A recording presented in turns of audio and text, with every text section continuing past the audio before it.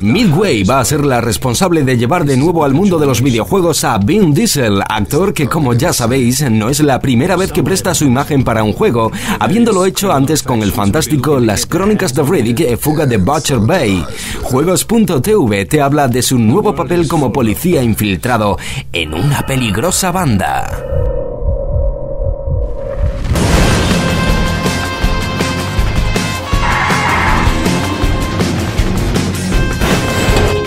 The Willman nos mete en la piel de Vin Diesel y de su alter ego virtual llamado Milo Burik. Burik es un policía infiltrado en una peligrosa banda que, por desgracia, se encuentra en uno de los tres bandos en guerra donde nuestro agente infiltrado deberá cumplir una serie de misiones que van desde persecuciones en coche hasta las raciones de plomo más viscerales.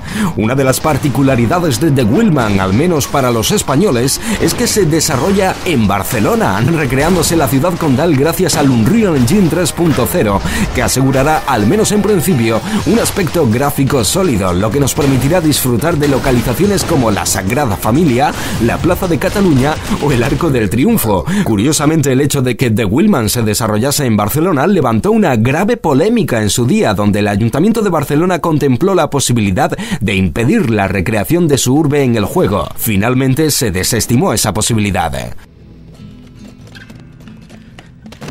El desarrollo del juego es el mismo que conocemos eh, todos eh, del género sandbox, eh, típico de sagas como GTA o Saints Row. Cumpliremos misiones tanto principales como secundarias, donde actuar como chofer, mercenario o sicario serán nuestras principales profesiones, prestando eso sí especial atención a las persecuciones en automóvil, donde podremos disparar incluso a los depósitos de gasolina de los coches para que terminen explotando.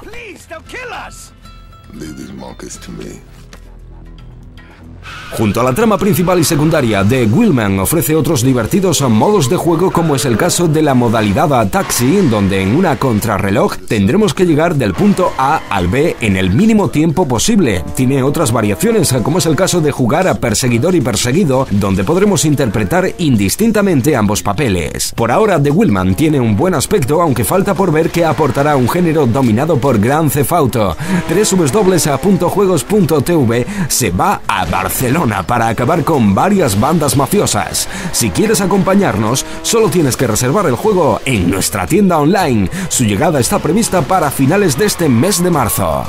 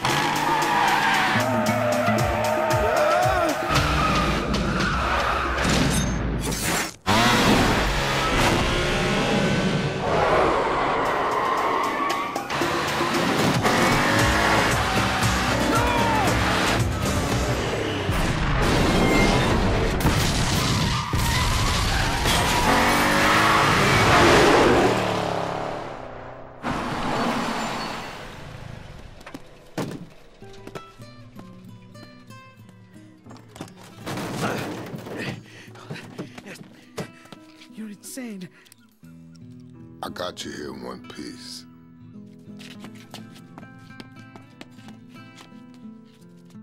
Your package. Whenever I have a little fun, they always leave their luggage.